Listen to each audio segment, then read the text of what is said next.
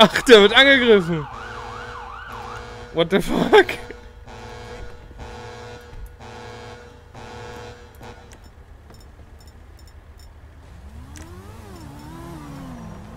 Toll, erstmal die Waffe.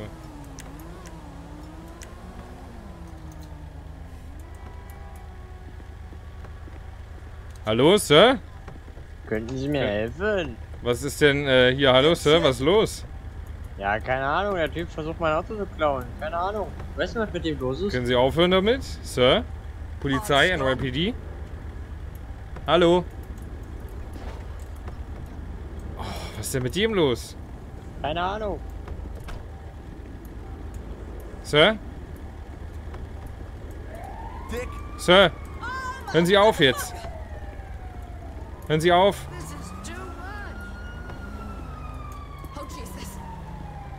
Letzte Warnung.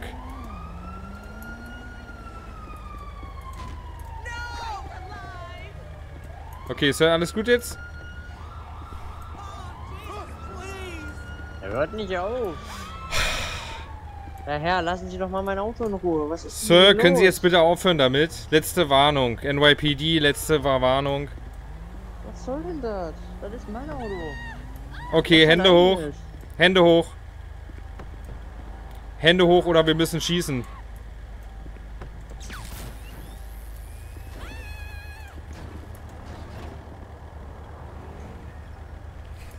Was ist mit der Stadt los, ey? Ich fahr mal kurz vor. Unfassbar. Ups.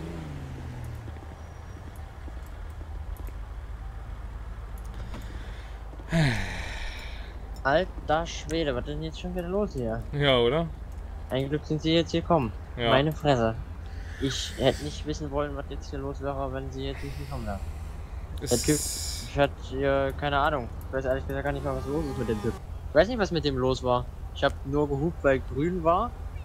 Äh, und er hat direkt, er ist direkt ausgestiegen und äh, hat mich beleidigt und wollte mein Auto klauen.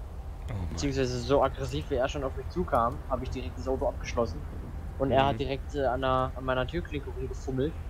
Und ich habe dann halt einfach meine, ja, meine, was heißt das, Alarmanlage? Alarmanlage kann man das nicht nennen. Ich habe halt die ganze Zeit, wenn Blinker an, dann halt Hupen und wenn Blinker aus, dann blink, äh, dann äh, keine Hupe. Ja. So halt dann so eine Simul äh, simulierte Alarmanlage gemacht. Vielleicht hätte ja jemand gekommen, äh, wäre ja jemand gekommen, aber stattdessen sind die alle eher in mich und in den Typen reingefahren. Hm. Ja, ist, in der Stadt erleben wir jetzt immer mehr, ey.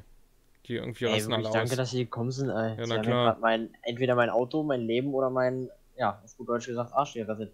Ja, nee, kein Problem, dafür sind wir da. Aber, Ja, ich meine, so, wie ich bin ja ihr Kollege, von daher. Zwar nicht vom NYPD, aber, ne?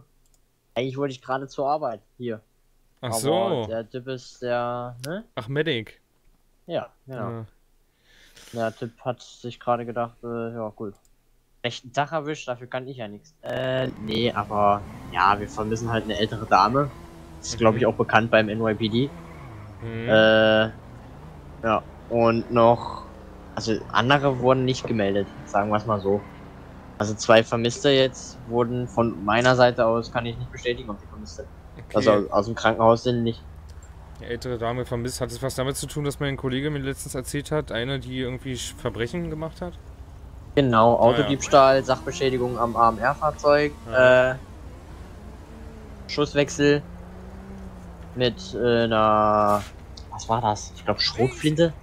Hatte die einfach unter ihrem Mantel Okay. und die hatte einfach einen, so jedenfalls äh, ein guter Freund von mir, äh, der Herr Breath, der hatte, ist Mechaniker und war hinten an der Werkstatt und ich habe ja mit dem so gesehen, weil sein Chef sich halt nicht zeigen lässt, Hm. habe ich mir gedacht, so, ja gut, okay, kannst ja vielleicht einen Vertrag schließen, und, um ab und zu mal zu gucken, ob alles in der Werkstatt äh, okay ist, dass sich keiner verletzt hat oder so. ja, Weil ja. am Ende kann man ja nicht mal rufen, wenn man jetzt alleine ist und das Auto knallt auf sich drauf, dann, äh, ne?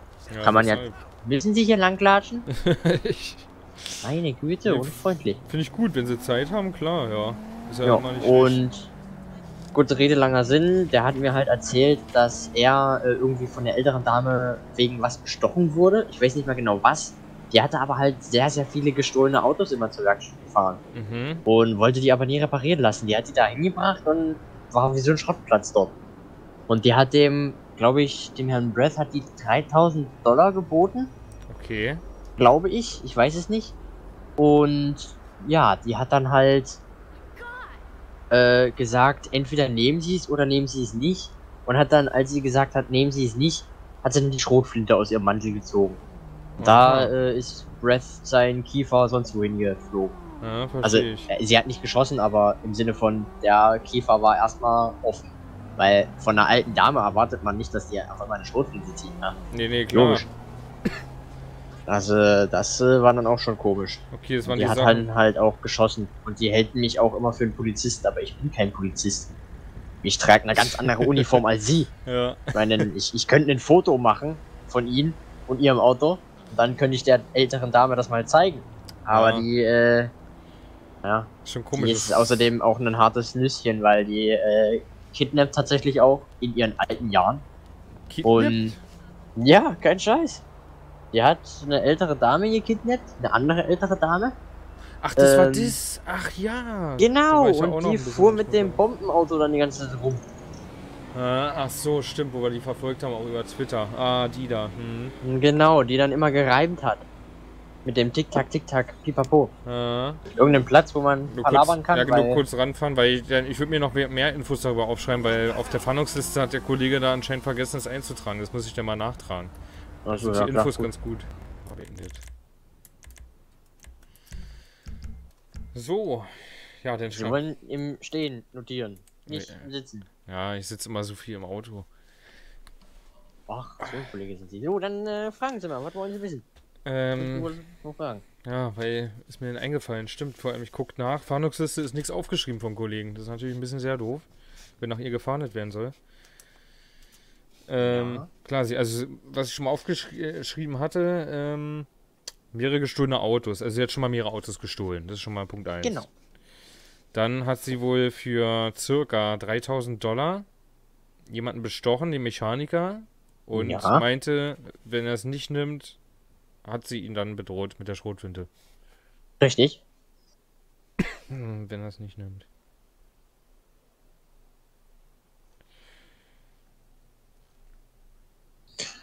Hm. Da müsste mal ein Kollege nochmal mit dem denn reden, mit dem Mechaniker. Wie hieß der nochmal genau? Wissen Sie das nochmal? Breath. Mhm. J. Breath, sag ich mal so. Also J.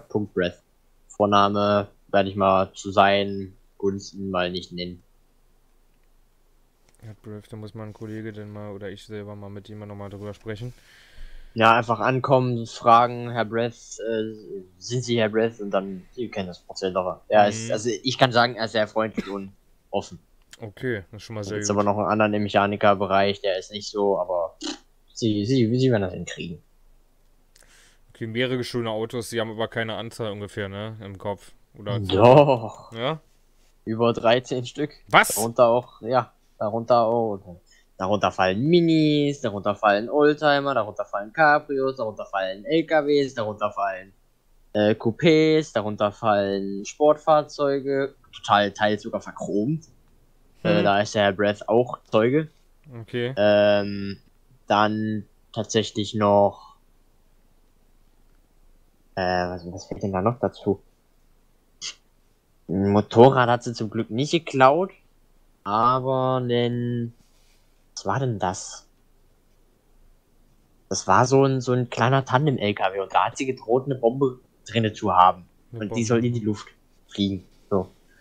Das ist aber nicht passiert. Okay. Ein LKW, wo hat sie den abgestellt? Wo war der? Mit der Bombe? Direkt vor der Werkstatt. Okay. Also vor dem, vor dem Tor so. Wenn ich das richtig noch in Erinnerung habe. Hm. War halt direkt vorm Tor. Das war schon creepy.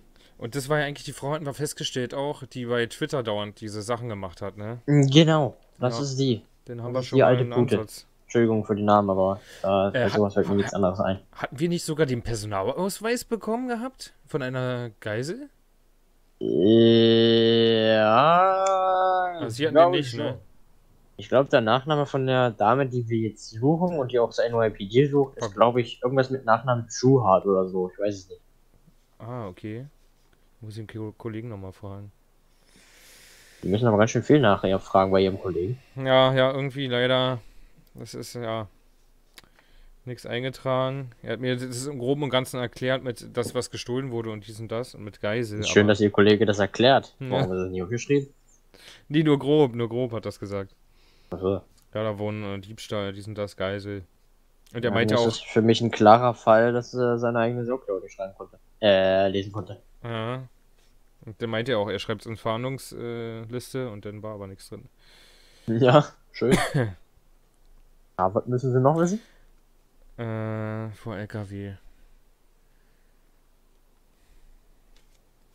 Bombe. Okay, Genau. dadurch mit der Bombe, die ganze Drohung habe ich ja selber mitverfolgt auf Twitter. Aber das, das noch mit der Bombe im LKW, das war tatsächlich fake. Das war nur ein Bluff. Aber das mit dem Auto, das, äh, keine Ahnung. Hm. Es ist ja bis jetzt immer noch unklar.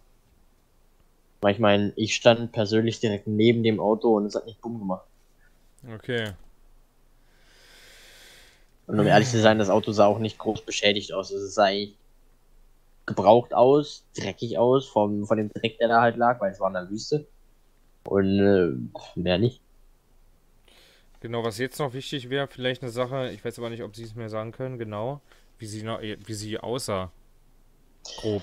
Och, Herrgott nochmal. Ähm, wenn ich das noch richtig in Erinnerung habe, ich meine, die stand schon ein paar Mal vor mir. Hm. Äh, und ich auch vor ihr.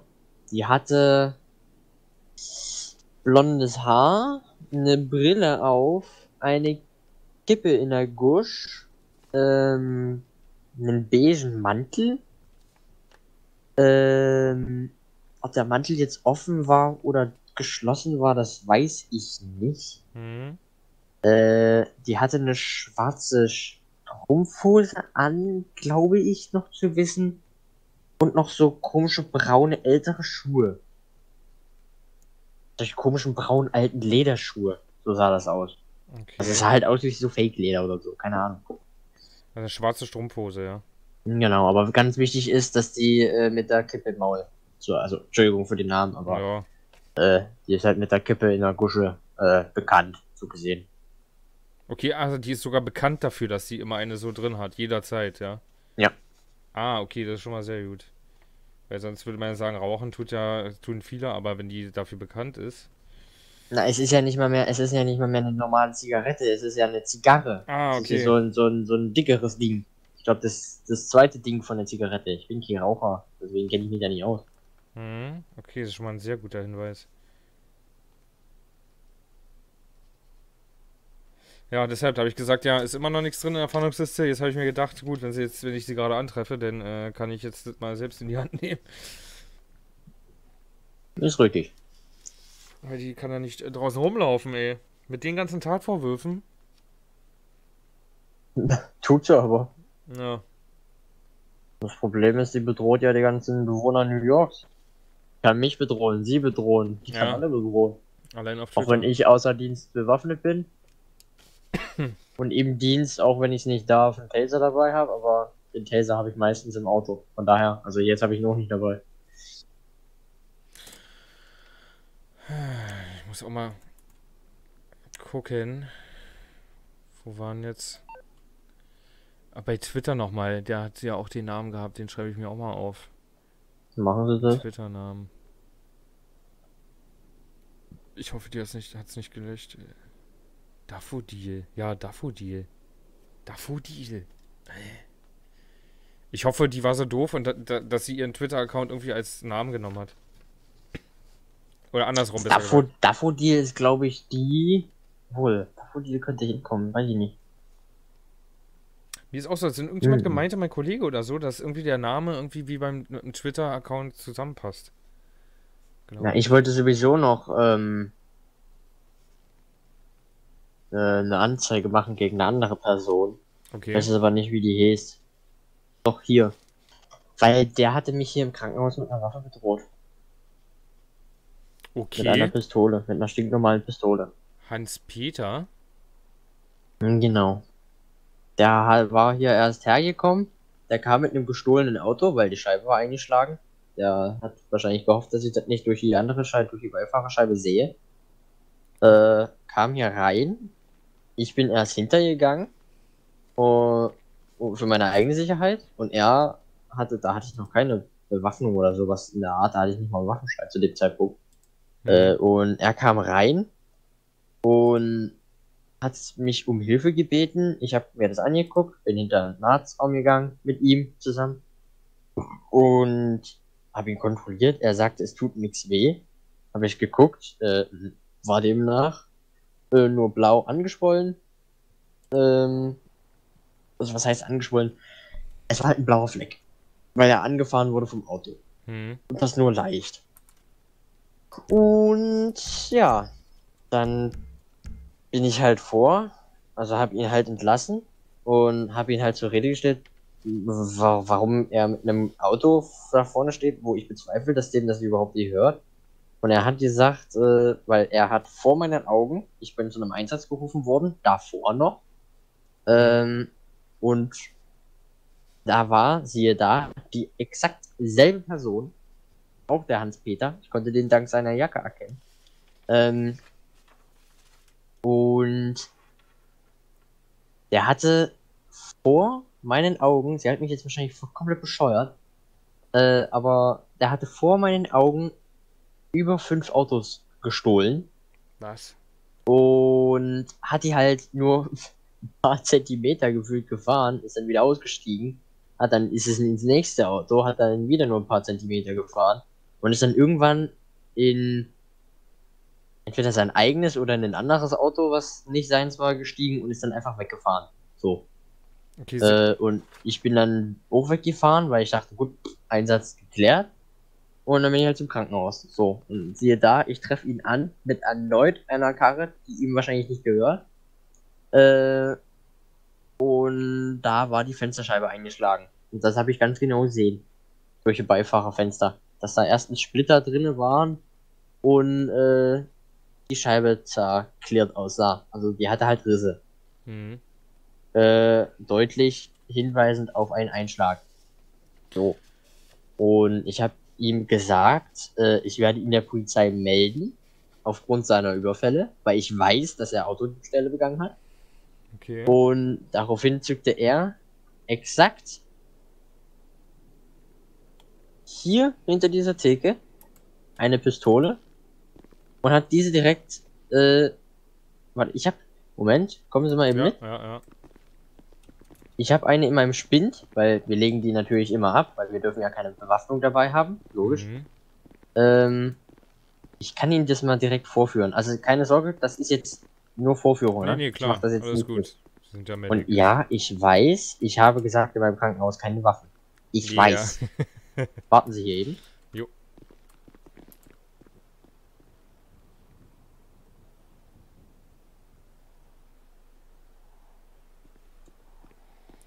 Jo. Leute, ist noch ein Sub, ey, dann haben wir das, äh, den So, Pott gefüllt. Also, das ging Bei genau Twitch. so ab. Ich saß halt hier und der Typ äh, hat halt direkt, also er stand nicht so da, aber er hat, ich bin halt aufgestanden, stand genau da, wo Sie jetzt stehen Mhm. und er ist näher zu mir gekommen und hat gesagt, wenn Sie mich der Polizei übermelden, dann sind Sie tot. Okay. So. Also er, er, er stand nicht so direkt da, sondern Mhm. er stand halt einfach nur so. Wenn Sie mich der Polizei übergeben, also wenn Sie mich der Polizei melden, dann sind Sie tot. Also hat So er ist es abgelaufen. zugeflüstert denn. Genau, so ist es abgelaufen. So, ich leg die Waffe mal wieder ab.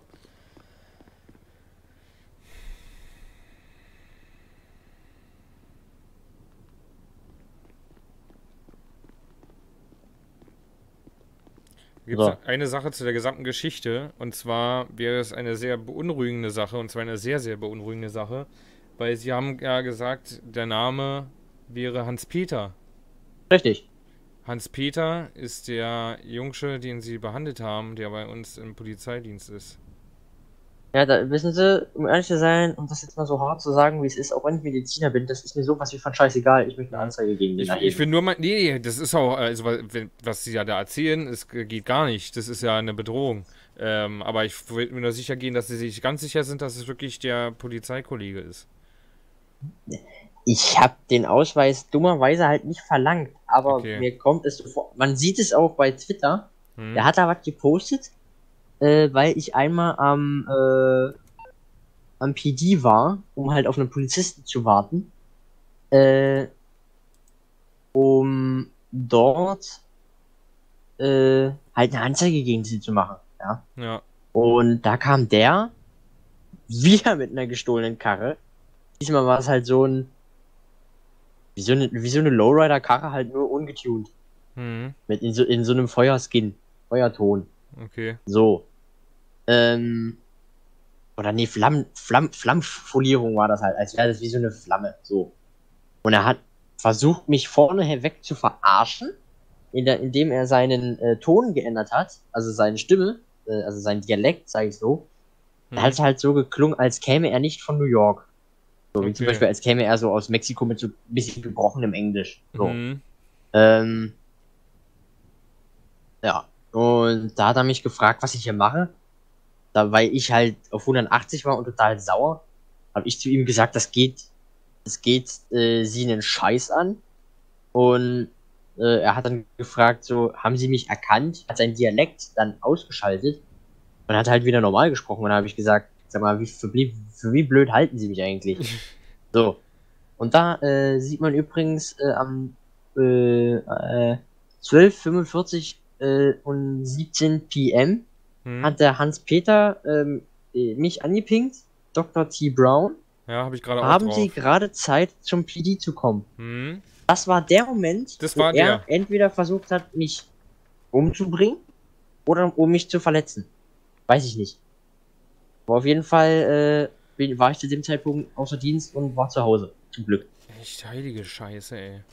Das, äh, Und- ja, das, das ist ja, das, wo er das geschrieben hat, das ähm, war dann ein Akt, wo er wahrscheinlich ihnen was antun wollte, denn. Weiß ich nicht, ich will es aber ehrlich gesagt auch nicht Mhm. wissen. Und seitdem ich halt hier mit einer, mit einer Waffe in. Das ist jetzt zwar nicht mein Krankenhaus, aber in dem Krankenhaus, was ich leite, in meinem leitenden Krankenhaus, wo ich arbeite, wo ich das Ding leite, mit einer Waffe bedroht werde, da ist es für mich ausgewiesen, da bin ich dann zum NYPD gegangen und habe direkt einen Waffenschein beantragt. Und den habe ich jetzt bestanden. Den kann ich Ihnen auch gerne zeigen, falls Sie mir nicht glauben.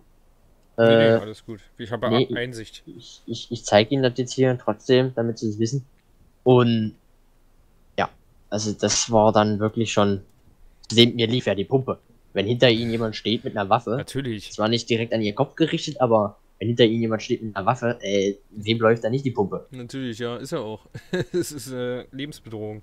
Und ähm, ja, und sie sind, wie gesagt, denn, weil er das geschrieben hat, das war wirklich der, unser Hans-Peter, also sie verwechseln ihn nicht mit jemandem. Das war er, ja, sind sich 100% sicher. Nein, wäre ich mir nicht sicher, dann äh, Okay. keine Ahnung. Gut, ich wollte nur noch mal absichern, weil das ist eine, ist sehr gut, dass sie es. Sie lesen es doch Ja. selber bei Twitter. Hm, Der Typ heißt Hans-Peter und wollte mich zum PD haben. hm. um was weiß ich, Gott, was, was weiß was mit mir anzustellen. Mich zu kidnappen, weiß ich doch nicht. Ich will es auch nicht wissen, ehrlich gesagt. Ja, ja, nee, nee. Nur seitdem bin ich jetzt halt mit Taser bewaffnet im Dienst, auch wenn ich weiß, dass ich den nicht dabei haben darf. Zur Nee. Zeit jedenfalls. Ich habe den Chief äh, vom PD gefragt. Der hat gesagt, äh, lieber im Auto haben, aber ansonsten an Mann lieber mal nicht. Weil die von ganz, ganz oben, die äh, diskutieren da bei jedem Gespräch noch. ja, ja. Ja. Nee, das ist nämlich eine Sache, ähm, gut, dass ich es nämlich jetzt nochmal sagen, weil ähm, das geht ja, das ist ja, äh, also ich bin sprachlos, das ist eine Sache, die ist unfassbar. Ein Na, Polizist. denken, denken Sie, wie sprachlos ich war? Hm, Ich kann Ihnen sagen, mir hat der Stift aus dem Arschloch geguckt wie sonst was. voll. Weil ich hatte einen Schiss, weil wenn hinter mir jemand mit einer Waffe steht, ich bin Mediziner. Eigentlich komme ich an, frage, jo, arm Eier hier, alles gut, was ist passiert? So. Aber dann mit einer Waffe, einem, also einen hinter einem zu haben, mit einer Waffe, solche Situationen habe ich selten bis nie. Das war eine komplett neue Situation für mich. Das, das kannte ich so nie. ja, Das äh, war dann schon ein komplett anderes Gefühl, wo ich mir dann auch, im, als er dann weggerannt ist, habe ich mir im Hinterkopf gefragt, warum den Mediziner? Was habe ich getan? Warum? Ja. Wieso? gerade Mediziner vor allem. Aber auch Ich generell. bin doch nur da, um zu helfen, genauso wie, wie, wie Sie.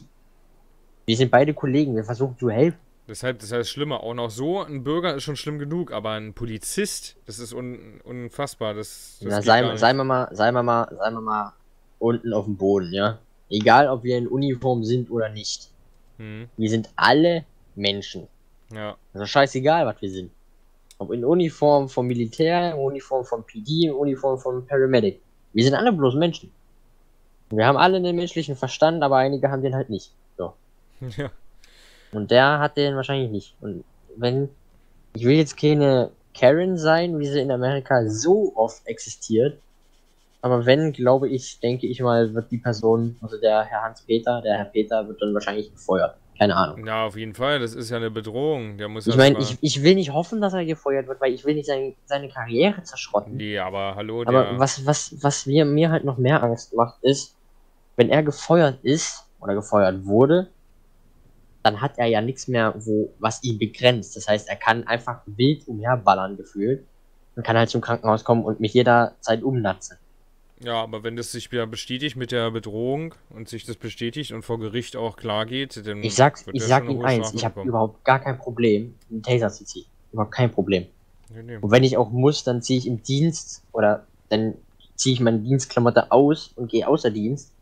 Äh, dann sage ich mal so hart wie es ist, Lecco mio, dann knall ich den ab. Sorry, wenn's, auch wenn es ihr ehemaliger Kollege ist oder ihr Kollege immer noch ist, aber dann muss ich's, weil dann ist es Eigenverteidigung vom Leben. Sag ich so. Ja, ist natürlich, Gesetz ist auch nicht immer schön. Nach Gesetz muss man natürlich, ähm, ja. Ist bei uns auch wir, so. Wir, wir Mediziner sind am Arsch. Wir sind Ja, gearscht. Wir auch so. kriegen keinen Schutz. Wir dürfen weder Waffen haben. Das Einzige, was ich habe, ist eine Taschenlampe und äh, ein ein Messer dafür für Bandagen zum Durchschneiden, beziehungsweise für die Kleidung. Weil wir haben ja einige Patienten, die haben halt so, keine Ahnung, teils Schusswesten. Die Hm, haben sie unter Pullover oder so. Und die müssen wir halt ja erstmal durchkriegen. Wir ja. können ja nicht einfach der Person sagen, ja, ziehen Sie mal aus. Na, die, die wird das mit Schmerzen ausziehen. Und das Ja. will ich ja vermeiden, weil dann könnte ja die Wunde größer werden oder mit irgendwie Bakterien vom oder irgendwie so Zellstoff reinkommen. So fusseln. Und die dann einfach mit der Pinzette raus, äh, ja doch mit einer Pinzette rauszufirmeln. Äh, da bin ich in drei Jahren noch nicht fertig und die Person ist mir währenddessen da verreckt. Da habe ich auch keinen Bock drauf. So, aber jetzt genug des Ganzen. Ich glaube, ich gehe jetzt außer Dienst. Ja. Mein Gott. Und auch als Cop, wir müssen ja, wir können ja nicht gleich ballern, sondern ähm, wir müssen auch Ja, habe ich ja vorhin gesehen. Ja, Und ne? manchmal wird man sich auch wünschen, ein bisschen früher mal was zu tun, damit man geschützter ist. Aber gut, Gesetz. Ich, ich würde es gerne mal wissen, ob Sie schon mal in, ihrem, in Ihrer ganzen Dienstkarriere mit einer Karen zu tun hatten. Die Leute, die immer einen Manager haben wollen. kennen, Sie, kennen Sie die Leute überhaupt? Nee. Oh Gott, seien Sie glücklich. Die wollen immer, die wollen was von, von Ihnen haben.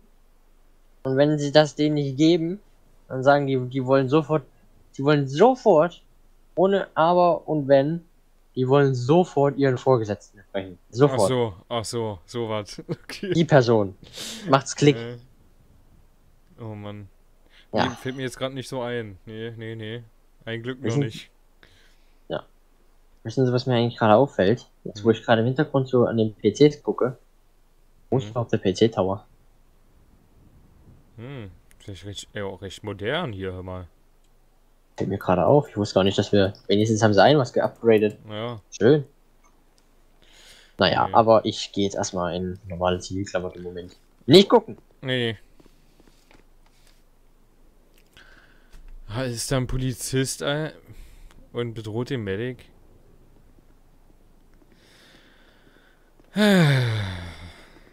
Es wird an der Zeit, dass Jake Schön mal aufräumt. leichte Klamotte wieder, ne. Mit der offenen Jacke. Angenehmer.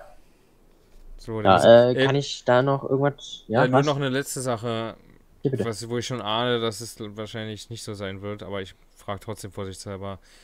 Klingt zwar doof, aber haben Sie zufällig irgendwie einen Zeugen in der Nähe gehabt? Aber im Von meisten Hans Fall, Peter oder von wem? der das irgendwie mitbekommen hat, dass der bei Ihnen stand und Ihnen was zugeflüstert hat oder so. Wir können ja versuchen, die Pflanze zu fragen. Ob die Ihnen antworten wird, das äh, weiß ich nicht. Okay. Nee, ja. Weil das halt, ah, scheiße. Ja, das ist natürlich. Wir werden uns natürlich sofort darum, denn, darum kümmern, sobald äh, wir ihn ähm, aufspüren. Lassen Sie das. Ich aber bin bewaffnet, ich kann mich selber verteidigen, sie haben mich nicht zu tun. ja, wir machen es aber trotzdem und gehen der Anzeige nach. Aber ich will nur vorab sagen, das ist natürlich so eine Scheiße wieder. Nach dem Gesetz Aussage gegen Aussage. Wenn er jetzt sagt, Wieso Aussage gegen Aussage? Ach so, wenn er jetzt sagt, nö, nö, stimmt gar nicht, hä, habe ich gar nicht. haben wir Überwachungskameras Und hier? beim Verhör da- Scheiße. Verhör, man probiert auch mal eine Verhörtaktik, haut auf Doch, wir haben eine Kamera, da hinten. Okay, Ich weiß nicht, ob die aufgenommen hat. die Frage ist, ob da ein Film ist. Weiß ich nicht. Noch. Der Verhörtaktik kann man auch auf den Tisch hauen und den unter Druck setzen, vielleicht packt er aus, aber wenn nicht und der sagt, ich war es nicht, dann ist es Aussage gegen Aussage. Aber man, ich würde es trotzdem natürlich sofort probieren. Das ist lebensgefährlich, was da passiert.